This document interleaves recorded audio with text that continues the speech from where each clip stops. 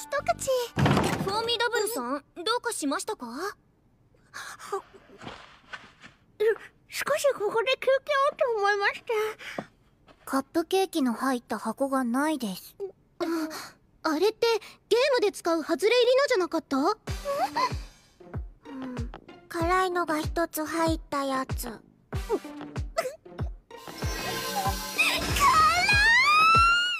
中身はない。うわ私が重くて潰れたんじゃないですわよ。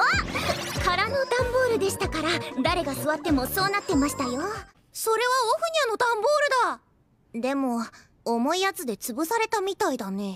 だ誰が重いですって？ええ本当？ええ。私も探してあげるから。今ここでのことは忘れなさい。あはい